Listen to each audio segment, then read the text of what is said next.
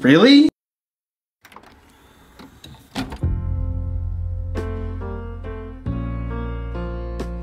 I just want you all to know how much it means to us that you're all here. Thanks to mom and dad. Beautiful. Just a perfect day Dear Heavenly Father, we thank thee for thy food and help us to do our part with kind words and loving deeds.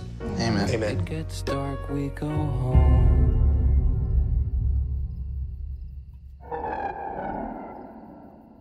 You're Next is the latest film-like substance to spew forth from indie horror director Adam Wingard.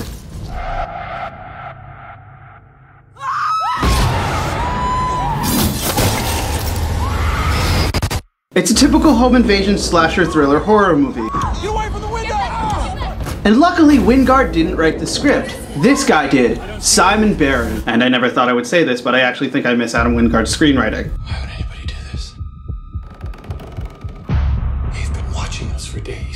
And the film stars a whole bunch of people who typically star in these types of movies, usually together.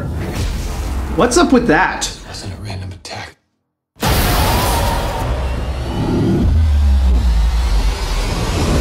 When I reviewed the ABCs of Death, go watch that video. I'll pause this one for you. I found Adam Wingard's Q is for Quack to be one of the best segments in that film, and looking back on it, it might actually be the best segment in the film. And I liked, for the most part, his involvement in the VHS films. Uh, his wraparound in VHS 1 is probably the worst thing about VHS 1, and is mostly where all the complaints comes from. But the segment that he did in VHS 2 I thought was really good. The thing about the segment from VHS 2 is it is the weakest of that film, but if you put that segment in another movie, if you watch that segment on its own, it's actually not that bad. It only starts to look pale when you compare it to the other segments in that film, but it is pretty decent, it's serviceable. However, his full-length feature, Horrible Way to Die, is one of the worst films that I've ever seen, and it has a lot of the same problems that we're gonna talk about in You're Next, with characters that just don't feel real.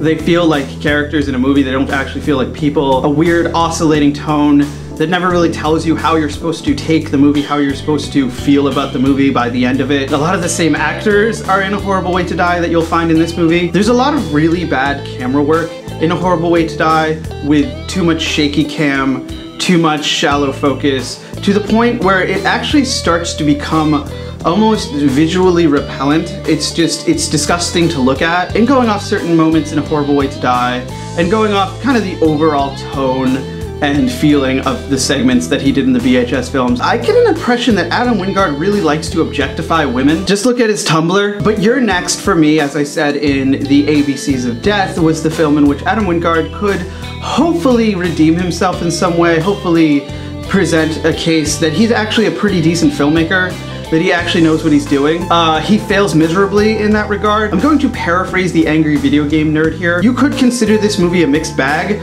but it's a mixed bag of piss and shit. However, this mixed bag of piss and shit does have some gems in it. This movie is basically a terrible cross between The Strangers, Home Alone, and Bay of Blood, and all of those films are more worth watching than this one. This movie is very conventional when it comes to both plot and structure. It has that typical and what I find to be rather annoying as a seasoned horror fan, death every 10 structure, which is basically a death every 10 minutes. Um, you see that in every fucking slasher movie. I've never really been a big slasher fan in general, and actually tropes like that are kind of the reason why I'm not a huge slasher fan. With this movie, most of the problems, they stem from the script. The script in this movie is terrible. It is really bad. It is not helped whatsoever by Adam Wingard's directing. Adam Wingard seems to have the complete inability to keep a camera still. He seems to have the complete inability to keep focus. He seems to have the complete inability to keep things in frame. I find this way of directing kind of amazing because uh, you're supposed to be able to see things in a film. You're supposed to be able to easily tell what's going on visually. And it's just amazing to me that so many directors have adopted this terrible shaky cam way of filming everything that in 20 years, when this trend has died because it will, everyone is going to look back on these films and completely disregard them because they're visual messes. Here's a quick example of what this movie looks like visually. Just give me a second. It's getting to the point, and it's actually so bad in this movie that people were snickering at the screen when it got particularly awful with the shaky cam. When the people who attend the Thursday night 10 p.m. screening are snickering at your film, you have completely lost your audience as a director. But on that token, maybe it's not such a bad thing that you really can't see what's going on because the acting and character in this movie are wildly inconsistent and downright confused. No one in this movie puts in a good performance or a consistently good performance. Uh, the only exception to this, I would say, is Joe Swanberg. He is the only one who's actually putting in what I would consider to be a decent performance in this film. With that said, his character sucks. All of the characters suck in this movie. All of the characters are completely annoying, completely vapid, and undesirable. You don't want to spend time with these people. It's the same thing I said about the Canyons. It's the same thing I said about Frankenstein's Army. It's the same thing I've said about a lot of fucking movies. Why is it that horror movie filmmakers, and especially slasher filmmakers, why do they constantly feel the need to make the characters just unpleasant, repellent, completely stupid, just doing brain dead things for the entire runtime. Like I mentioned, not only do you not want to spend time with the characters, but they don't actually come off as real people. It's actually kind of what I said about Sasha Grey in Would You Rather. When you're acting like that, it's just unnatural. People have emotions and they have more than just being an annoying idiot. Uh, and it's particularly bad in this movie because the intelligent characters in this movie actually start to contradict themselves and do dumb things. Very early on in this movie, it is mentioned by the final girl in the film that they shouldn't go down in the basement because they could pump gas down there and just light a match or whatever. But throughout the film, they keep going down in the basement. And the entire time I kept thinking, hey, wait a minute, didn't you say at the beginning that's a bad idea to keep going down there? Why do you keep going down there? And it's funny because every time someone goes down there, they usually end up getting killed. So why the fuck do people still go down in the basement in this movie? And it's actually kind of shocking how short-sighted these characters are. Um, a lot of them just try to run out the door and, and get out of the house as fast as they can. And, you know, as you can imagine, it leads to their death faster than if they hadn't have left. It's actually kind of shocking that none of the characters could figure out what was going on in this movie, that none of them saw the very obvious and blatant twist coming, and just none of it. The characters acting like annoying vapid assholes, the characters just being completely brain dead. None of it gives you really a reason to care about any of them. When you can't care about the characters, then why the fuck should you care about the movie? Why should you care about the plot? Why should you care about the drama and what's happening? You know, I don't really care about the people that it's happening too, so really, why do I care where things are going? But there are some scenes, particularly the dinner scene before the people start attacking the house, that is actually pretty good. You get the sense that this is actually like a real dysfunctional family, and these characters actually are assholes in real life. So they would really be acting this way in this house. It doesn't make the film better, but for one scene, the characters being terrible people worked. But all of these issues all of these flaws, they basically come directly from the script.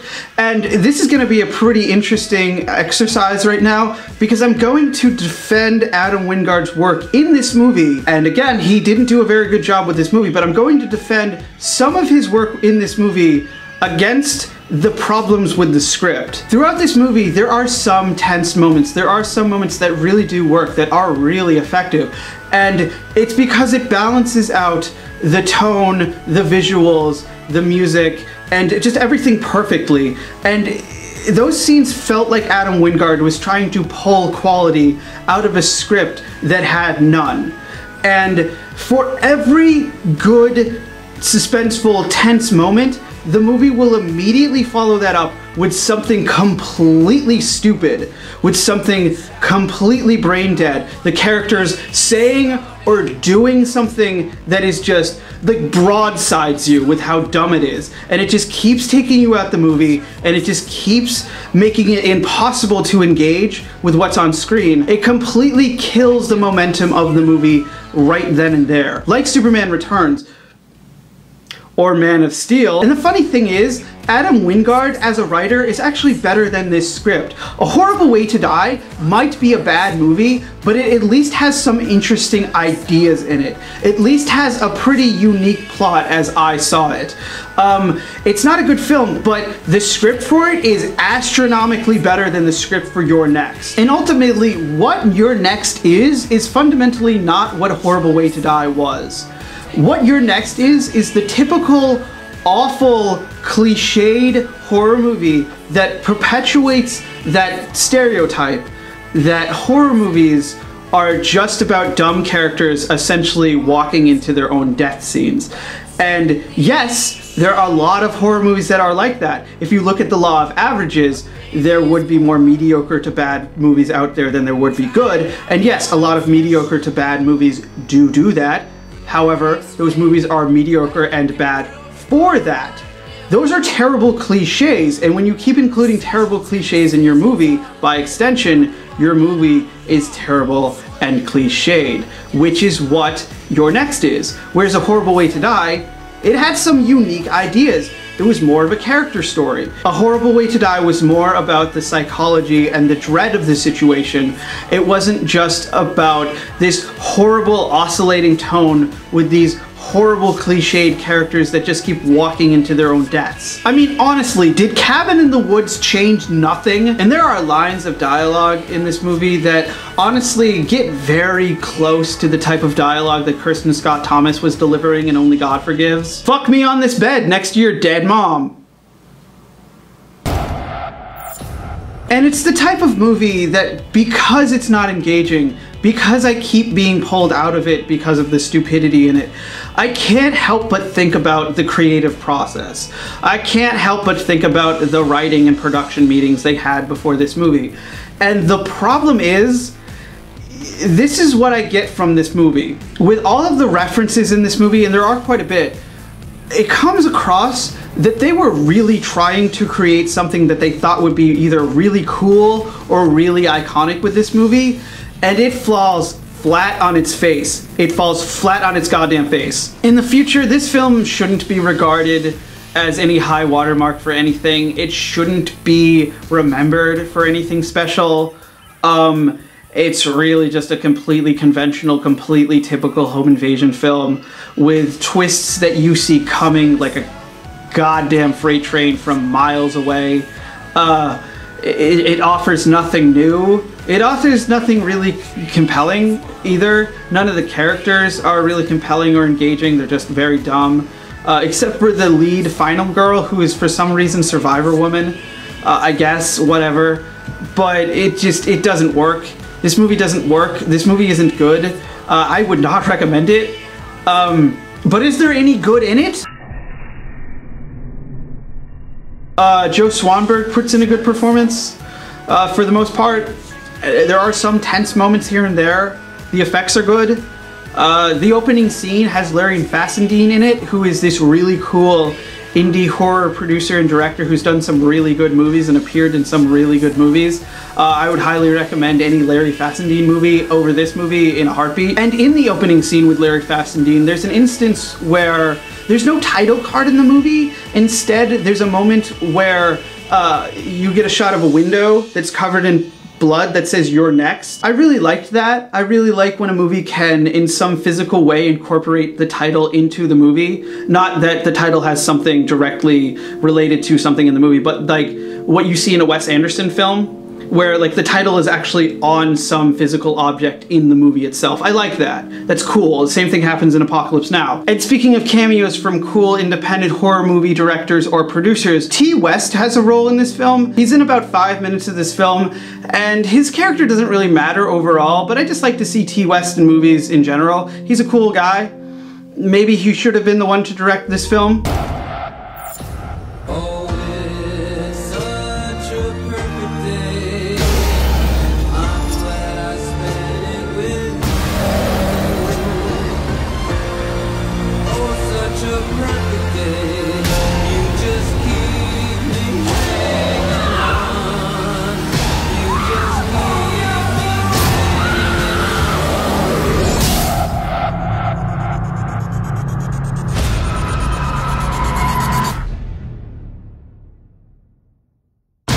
This movie, You're Next, I certainly can't recommend it. I really can't even recommend Adam Wingard as a director, but watch American Mary. Not that it has anything to do with You're Next, not that it shares any sort of plot similarities or actors or producers or any filmmakers or anything like that.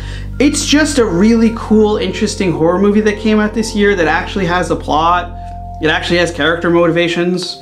It actually has some pretty interesting ideas. This movie doesn't.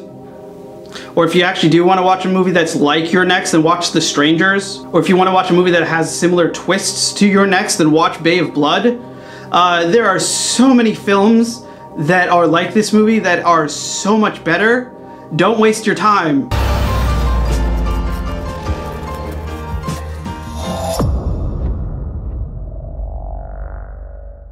Now we go from one invasion film to another. And we're back, just like the Five Musketeers. Three Musketeers, isn't it? Well, nobody knows how many there were, really, do they? You know that The Three Musketeers is a fiction, right?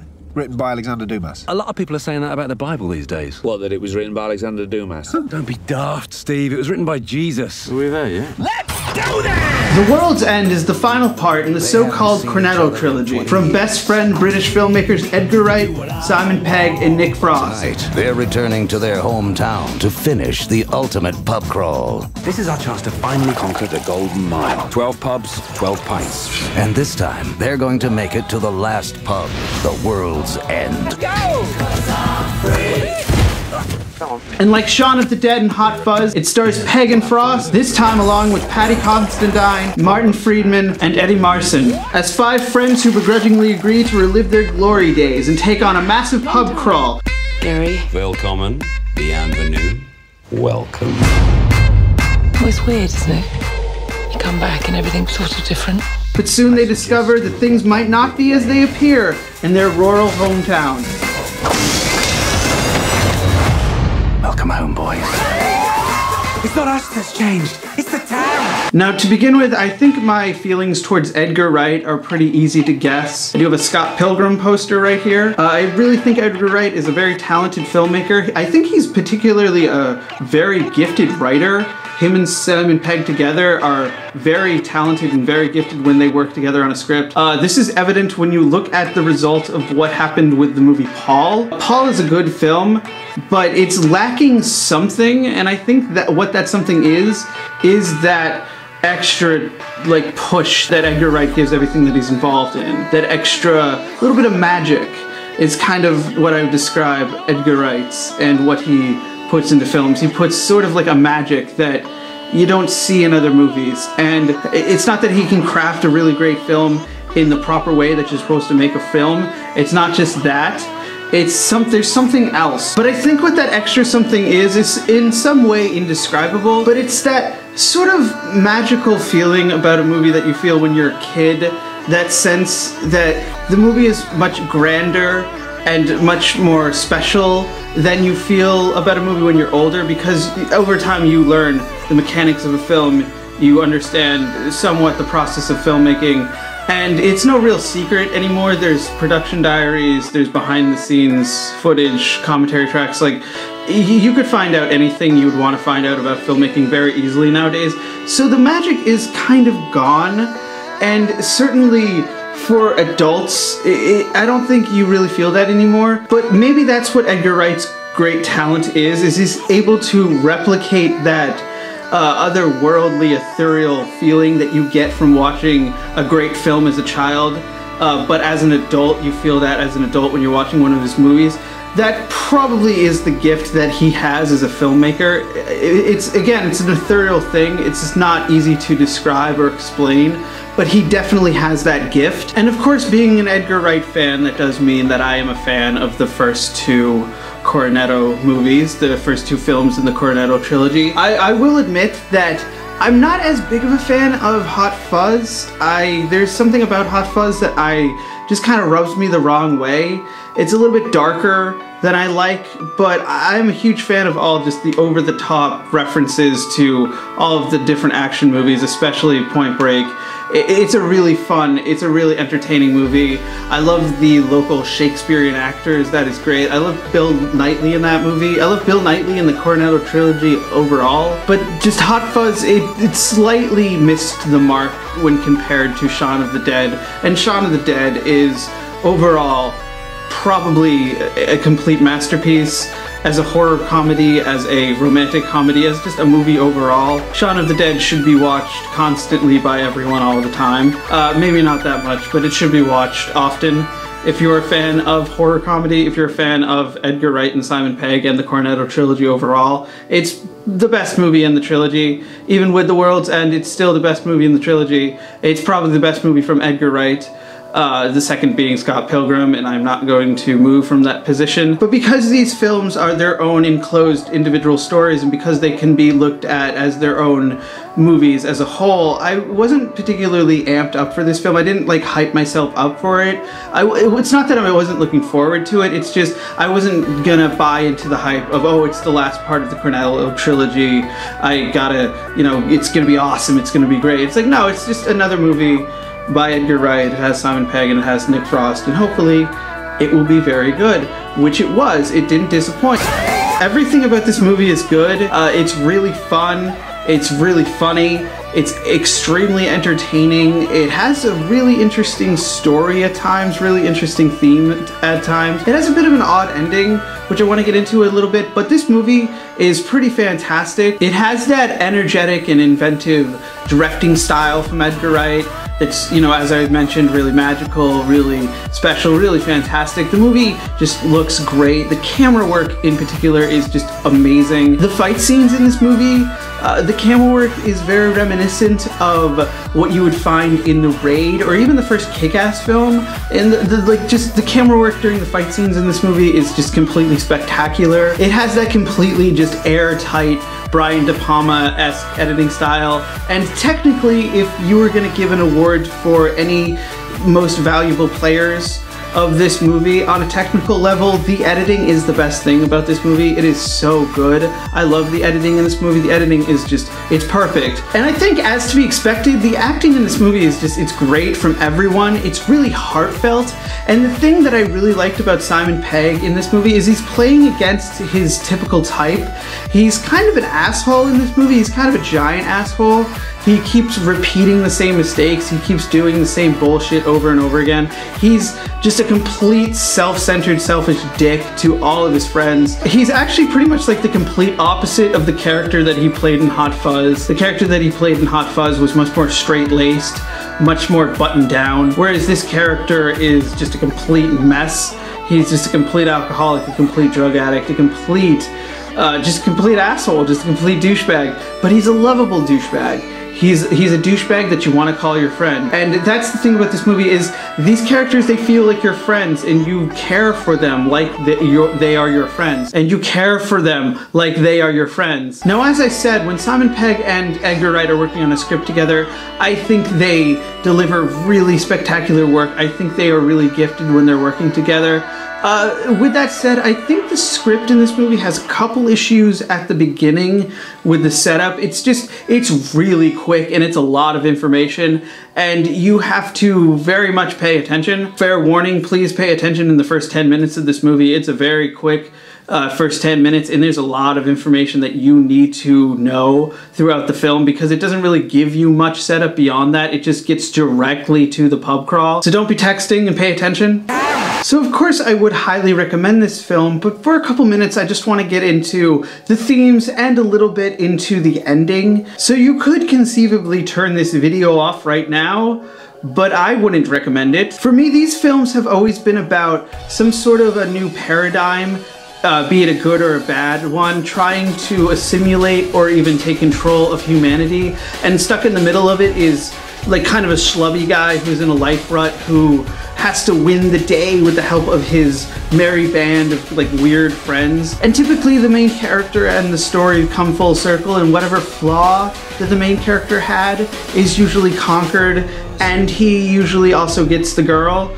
Um, it's a very classic story, it's very Star Wars. And in that regard, I kind of think it's similar to Hot Fuzz, because in Hot Fuzz, the cultists basically just wanted like an immaculate life for themselves and for their community, while the robots that aren't robots in the world's end, they just want everyone to be nice. They just want everyone to be pacifist. Oh, not that guy. And the movie ties all of that into themes related to the oncoming technological collapse that will hit us once we run out of the dwindling resources that we have to support the technology that we use. You know, I'm doing it right now with my camera and with my computer. You're doing it right now by watching this video.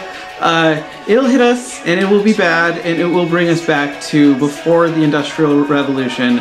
And this movie plays on that. And this is where I'm gonna get into the ending a bit. So once the characters have dispatched the evil uh, overlord of the robots that aren't robots, basically all of the technology on Earth dies. All of the technology is completely destroyed, and we are brought back to a period before the Industrial Revolution. And it's a bit of a downer.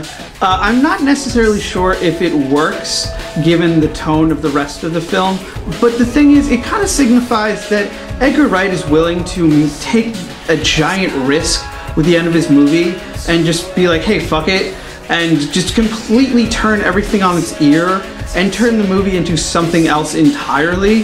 Uh, that I appreciate greatly in a filmmaker. It's another reason why I love Edgar Wright as a filmmaker because he does take risks like that. Uh, Edgar Wright, uh, curiously enough, is the reason why I saw Steven Spielberg's Tintin movie. Uh, and with that, of course, the main character doesn't really change at all. He just kind of stays the giant asshole that he was the entire time. And the thing is, I really liked that. I liked that, you know, they took a risk and they just made the character stay a douchebag. It was good. I really appreciate what Edgar Wright did with this film. I really loved this movie. It was very entertaining. It's gonna be uh, probably on my list of the best movies of the year. What are you doing? It's all right. I'm not trying to have sex with you. There's something I need to tell you right now. Unless you do want to have sex, in which case I'll tell you afterwards. Tell me right now. What did he say, Sam? Newton Haven has been taken over by robots. Did you believe him? We should head back to London. A, we're all drunk. B, we've got blood on our hands. It's more like ink. We've got ink on our hands. From the creators of Shaun of the Dead and Hot Fuzz. Let's climb down the drain pipe. I got a better idea. Climb down the drain pipe. The only way to survive the night is to make it all the way to the world's end. Where are the others? They're blending in. Hello, I am a robot. We're just five friends on a night out, having a good time. And what's probably best about this film, what is probably the greatest thing about The World's End, and what is probably the greatest thing about Edgar Wright's filmography as a whole, is that all of those films understand what it is to be a film and understand what is needed to be a film and what you need to do to deliver a satisfying experience. And all of these movies have been more than satisfying, more than entertaining. And again, I would just highly recommend this movie, highly recommend all of the Cornetto trilogy. I kind of can't wait to watch all of these movies back to back to back. Uh, that'll be fun. The World's End. Is that? We are gonna get to the world's end if it kills us. Oh no. Never watch you're next.